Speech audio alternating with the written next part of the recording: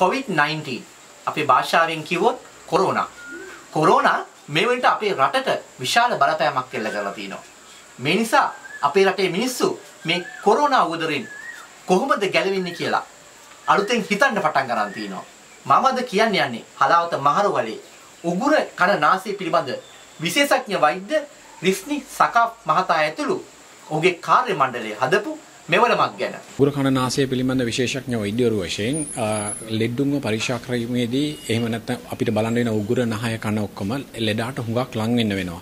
දැන් මේ තියෙන தත්ත්වය අසංගත தත්ත්වය අනුව එහෙම අපිට කරන්න බෑ. ඒකින්ද සෑහෙන අපේ සායනික කටයුතු අඩපණ වෙලා තියෙනවා.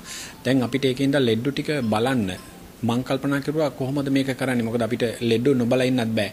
එතකොට දැන් මං මේ හදපු උපකරණෙන් කැමරාවක් ආධාරයෙන් ලෙඩාව සෑහෙන දුරින් ඉඳලා බලන්න පුළුවන් මීටර එකහමාරක දුරින්. එහෙම නැත්නම් මේකම අපිට අපි කියමුකෝ බිත්තියකට හයි කෙරුවොත් කාමර දෙකක ඉඳලා ලෙඩාව බලන්න පුළුවන් එක පැත්තක ලෙඩාව තියලා අනිත් පැත්තක වෛද්‍යවරු ඉඳලා. කියන්නේ හොඳ සම්පූර්ණයෙන්ම සාමාන්‍ය බලන ප්‍රමාණයට සමානට වැඩිපුරම හොඳටම උගුර බලන්න පුළුවන් ඇතුලේ කැමරාව ඇතුළටම දාලා. එහෙම නැත්නම් අනිත් පැත්තෙන් අපිට නහය වුණත් සෑහෙන දුරට ඇතුළේ බලන්න පුළුවන්. මං කන් බෙරේ එහෙම නැත්නම් කන ඇතුළේ කොටස උනත් බලන්න පුළුවන්. කන ඇතුළේ මොන හරි දෙයක් තිබුණොත් අපිට ඒක එළියට ගන්න පුළුවන් ඇදලා සක්ෂන් මැෂින් එකෙන්.